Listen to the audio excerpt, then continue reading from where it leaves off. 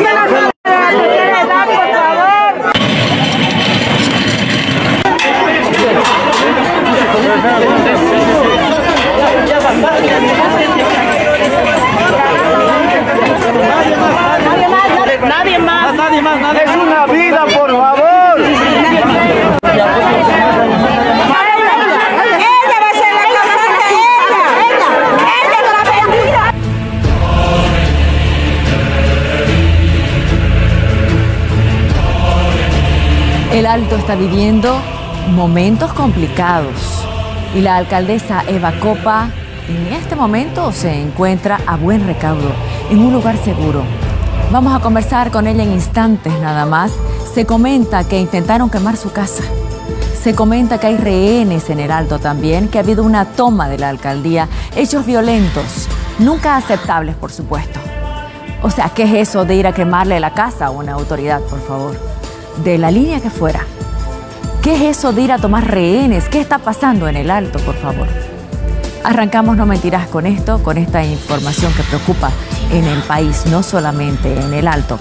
Son los que protestan, son padres de familia que están pidiendo más presupuesto para la infraestructura de los colegios. ¿Qué dice página 7?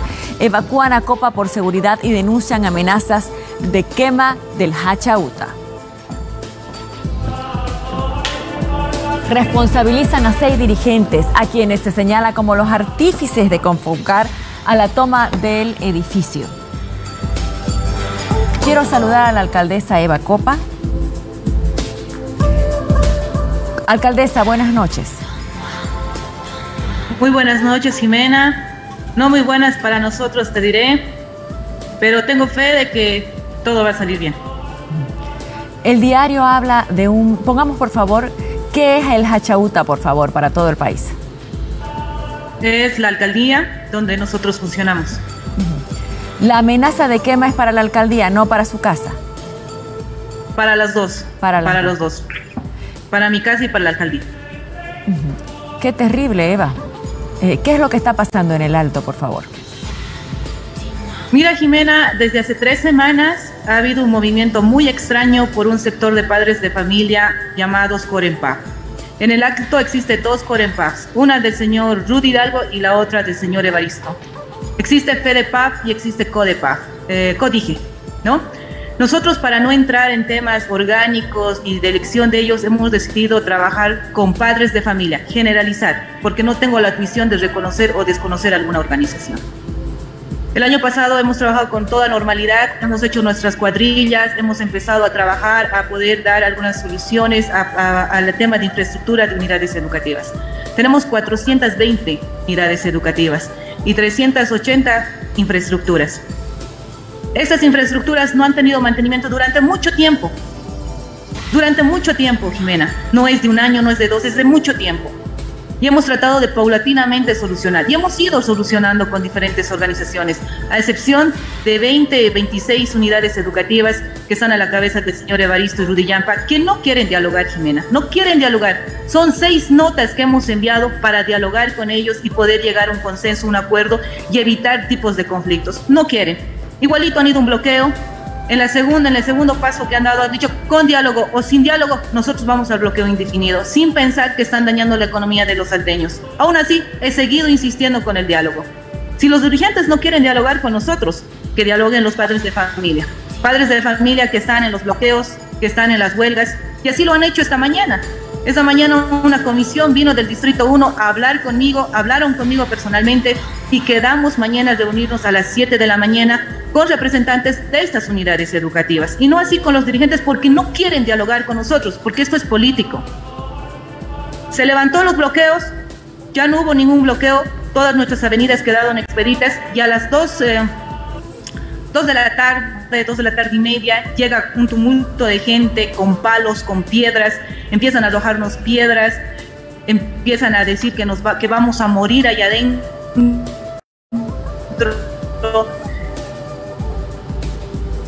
eh, ya me preocupé porque dijeron los pequeños y hemos salido, pero muchos no han logrado salir. ¿Cuántos, por favor? Porque incluso se habla de un número de, etcétera, de 700, dicen algunos diarios. Así es, tenemos como 700 funcionarios, seis en estado de gestación, tenemos una persona no vidente y tres eh, de la tercera edad y tenemos también cinco personas externas que solo vinieron a hacer trámites, que están con sus pequeños menores de cinco años y los demás son funcionarios. Tenemos como 700, 730 personas adentro. Hay personas adentro en este momento. ¿Y la policía qué hace, por favor? Ellos están en bomberos. Yo eh, eh, allá, al, cuando empezaron a gritar que vamos a morir allá adentro, que ya han empezado a quemar, han empezado a llegar en, volquetas, han empezado a llegar en minibuses, en micros. Yo llamé al, comandante Ruiz, al comandante regional y al comandante Aguilera pidiéndole que nos manden efectivos policiales para que pueda desalojar a esa persona por los antecedentes que hemos tenido en años posteriores donde ha habido pérdidas de vidas humanas.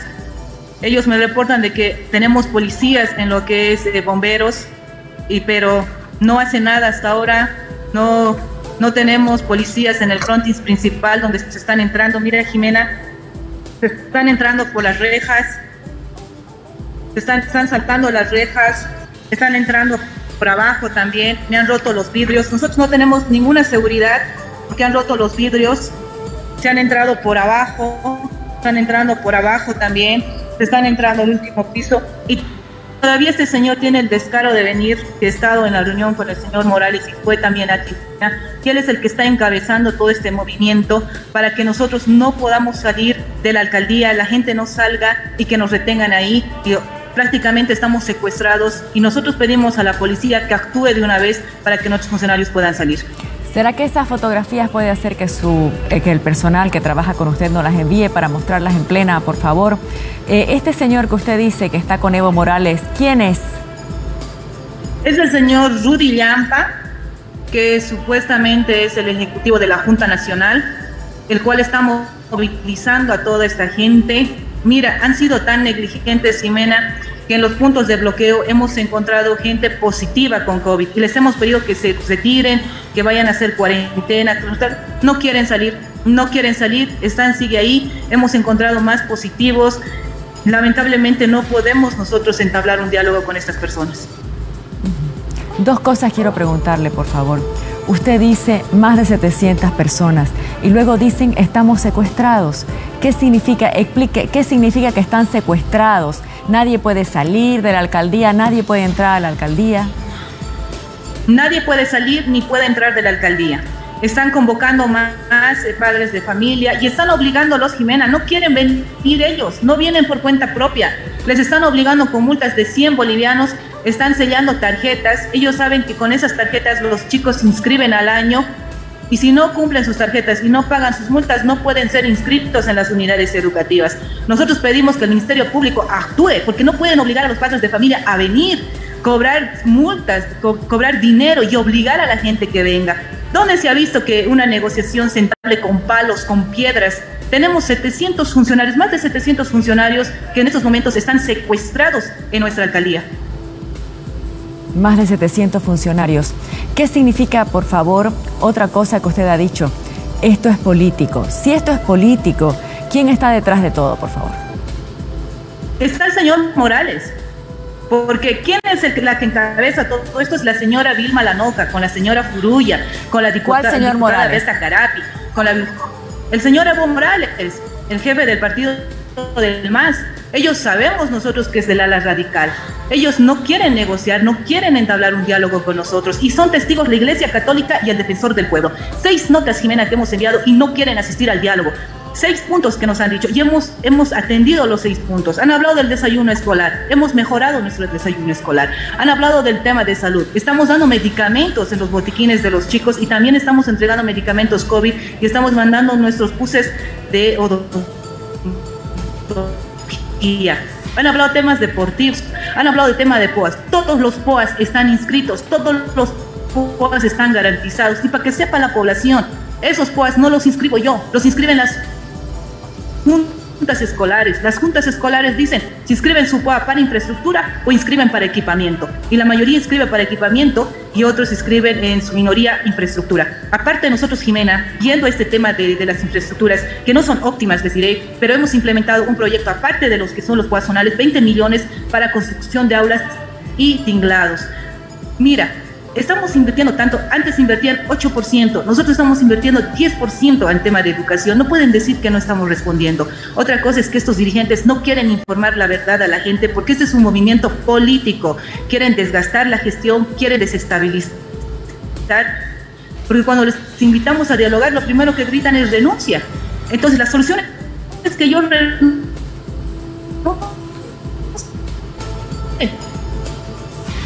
Bueno, se ha congelado la imagen. Eh, tengo muchísimo mensaje, pero quiero revisar por favor este video. Vamos con audio. Quiero que analicemos el video. Ya. Puedes delatar un poco. Nos sentimos en peligro. Nos sentimos en peligro. ¿Cómo llega gente de, bus? Mira, están trayendo gente. Vamos a sacar el papel, así no. Destrozándolo. No, se ha pasado. Debería, debería, debería sacarnos. Más al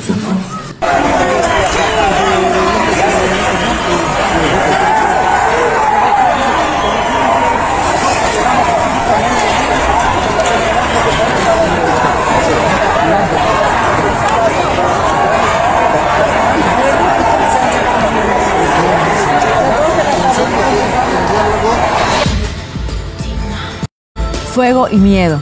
Esto pasa en el alto. En este Jimena, video se ve quisiera- mucha gente quemando llantas, debe ser. Jimena, yo quisiera que escuches este audio donde están hablando de que de matarnos. No sé si se escucha. ¿Será que nos los pueden pasar el audio, por favor, a nuestra producción? Claro que sí. Para que lo escuchemos en mejor calidad y la gente sepa de qué se trata esto.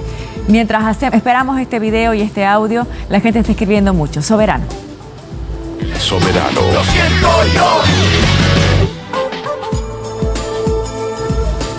Roberto Arenas, métanle preso a esos delincuentes que destrozan ornatos públicos.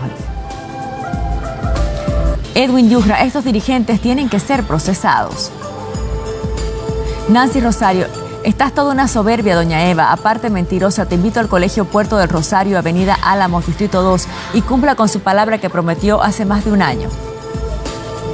Sony Mamania, un año de gestión y nada de obras. A lo único que se dedica la señora es a, a la población. Fuera Eva Copa por prepotente, arrogante, oportunista e incompetente, dice. Martín Fernández, trabaje, no se afloja, dice. Esta señora Copa que vaya a trabajar en el mercado, solo le gusta vivir del Estado y hace ridiculizar a Bolivia. Una vergüenza esa señora que sea autoridad, dice Orlando. Qué pena con la gente, Dios mío, ¿en qué mundo vivimos? Dice Sonia Pinto Viera. Reiki, esos bloqueadores no representan a todos los padres de familia del Alto. Siga adelante, alcaldesa. Es bueno que escuche a los padres de familia y no a esos dirigentes que nunca cambian de cargo, manejando a los padres de familia a su antojo y estos padres de familia que no se informan bien. María Carolina, claramente se, ve que están siendo manipulados por dirigentes aprovechados. Orlando, ¿qué nos dice? Arreglen las avenidas, calles y haga obras. Nada más se le pide, señora Copa. César nos dice, Evo aquí, Evo allá, todo es Evo, dice y pone risa. Mateo Marcos dice, ¿qué se me hace que estos personajes son evistas que le están cobrando sus comentarios a Evo, a Eva? Rocío Lima, toda mi solidaridad, estimada alcaldesa. Edwin Yujra, dije, esos padres de familia parecen vándalos. Persia pasa, dice, Eva Copa no se dejará por estos mediocres dirigentes, dice. Tenemos ya el audio. Vamos a poner en la pantalla, por favor, eh, veamos de qué se trata. Estoy grabando.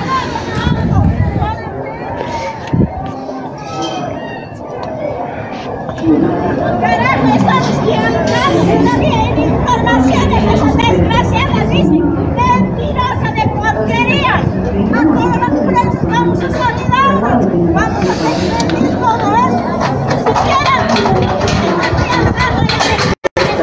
parar un segundo el video. Lo vamos a poner vertical, por favor, porque la gente eh, debe estar confundida con la imagen, ¿no? Eh, deme un segundo, por favor, y lo hacemos. Sigo leyendo mensajes. Ya lo tenemos, me dice. Vamos. No estoy grabando.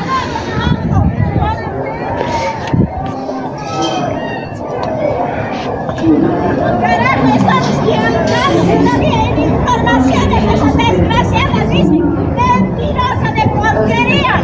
A todos los presos vamos a solidarnos, vamos a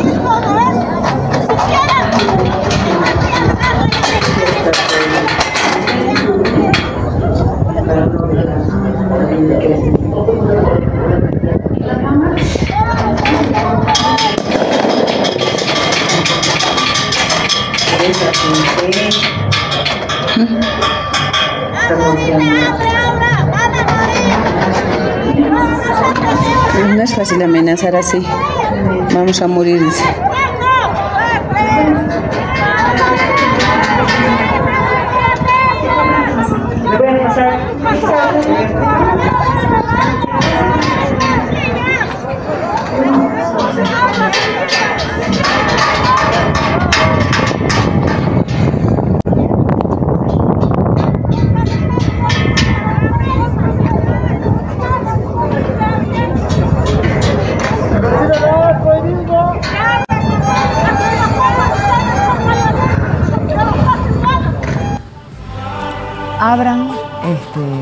abran o van a morir.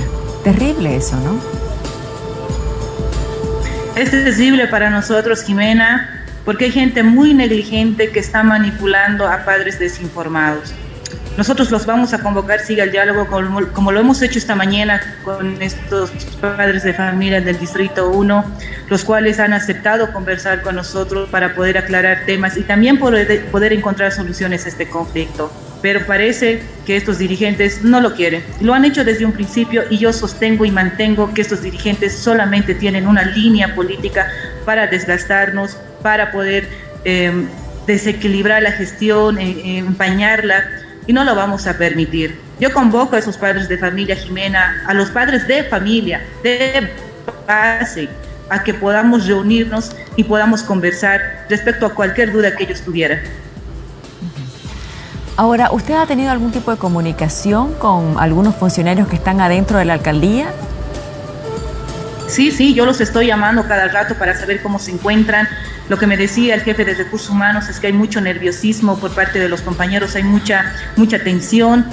Y bueno, pues hemos, hemos tenido que subirlos a todos al cuarto piso para que se sientan seguros. Están también nuestros secretarios ahí Están en unos minutos más, ellos darán una conferencia respecto a en qué estado se encuentran y pedir a la policía nuevamente a que pueda de una vez intervenir y dejen salir a nuestros funcionarios. El Ministerio Público tiene que actuar de una vez porque están atentando contra la vida y están evitando de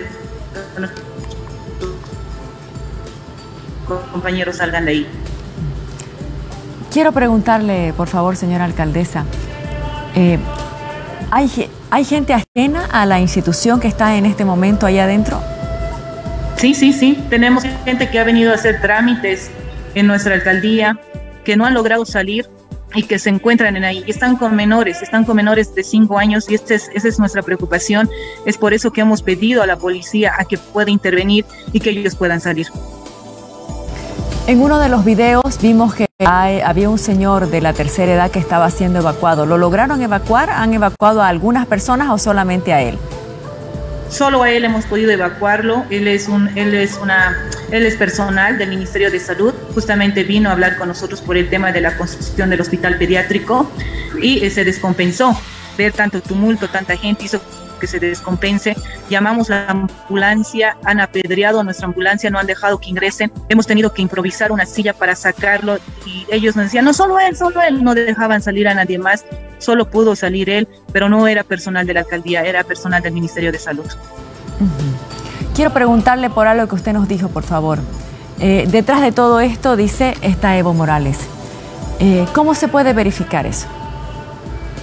Porque la que organiza todo esto es la señora Vilma Lanoca, juntamente con la señora Juruya, y están todos los personajes que han ido a Argentina a reunirse con él y que son ellos los que empiezan a manipular a la gente. ¿Cómo explica Jimena que se vengan ahora todos a bloquear y a tomar el Fachauta, la alcaldía, cuando nosotros ya hemos entablado un, diálogo con los padres de familia, que se va a realizar mañana a las 7 de la mañana en el centro de convenciones, donde hemos convocado a la Iglesia Católica y al Defensor del Pueblo. Sabiendo que hay una fecha para el diálogo, vienen y toman la alcaldía. Ahora, dígame por favor, ¿cuál sería el interés de Evo Morales en estar detrás de esto? Desestabilizarnos, desestabilizar la alcaldía, desgastarnos, ellos vienen y lo primero que dicen es renuncia. Yo por eso les pregunto a ellos, ¿la renuncia va a solucionar el problema? O sea, si yo renuncio, ¿todas las unidades educativas van a ser un lujo?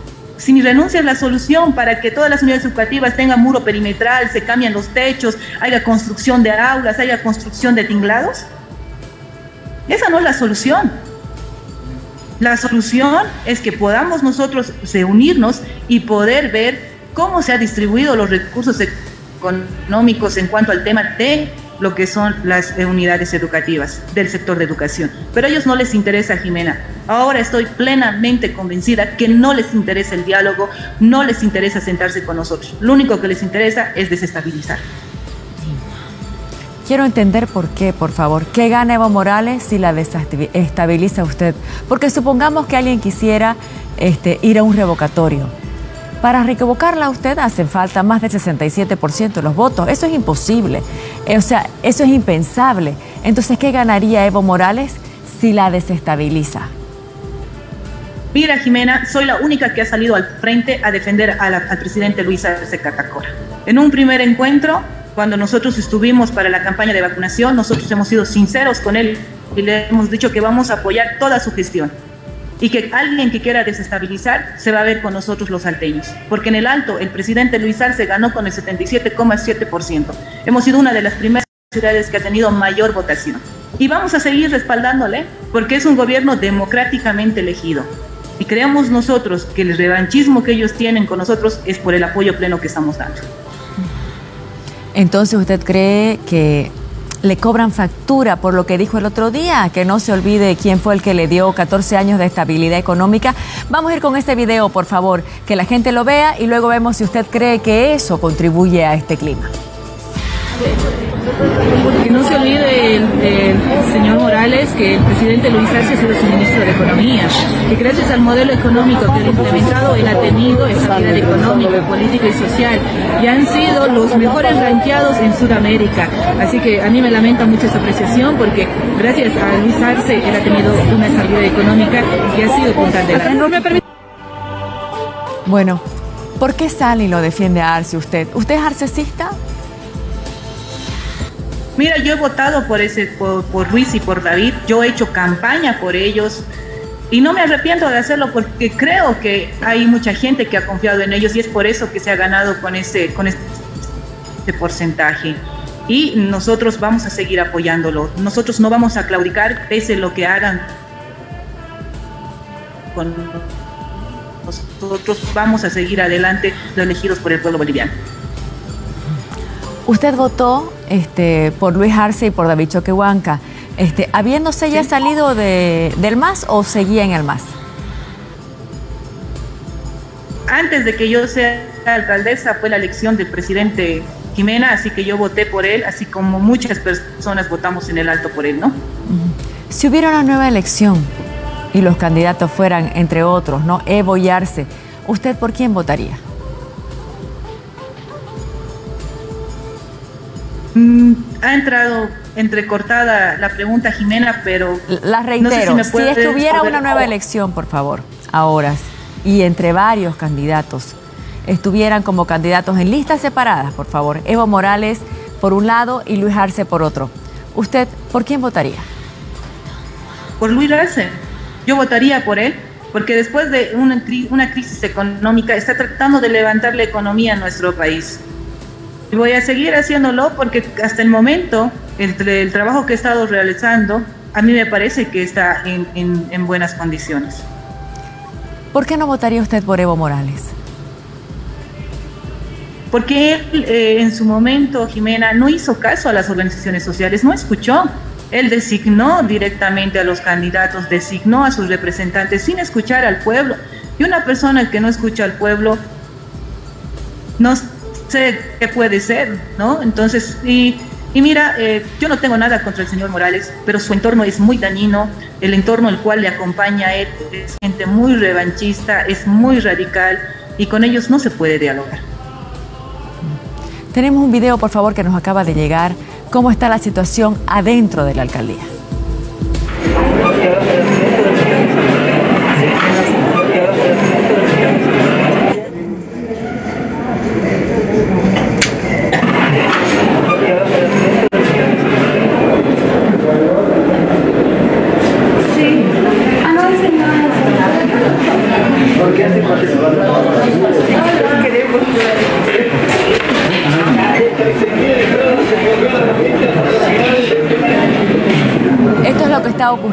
Adentro de la alcaldía. Miren, esta imagen es muy interesante porque ellos están desde adentro observando y lo que gritan de afuera es abran o van a morir. Es una situación muy complicada, ¿no? Esta del alto. La mirada del país en este momento está sobre esta alcaldía, sobre estas más de 700 personas que dicen, volvamos a poner el comienzo. Se ve una señora embarazada, ella con su bebé, con su hijito ahí, miren. Ahí está otra mujer embarazada. Ella es funcionaria porque tiene el escudo y el chaleco de la alcaldía. Voy a hacer una pausa, necesito hacerla y sigo con la alcaldesa. Aguárdeme un minuto, por favor. Solquifar te presenta su nuevo colágeno hidrolizado para estar.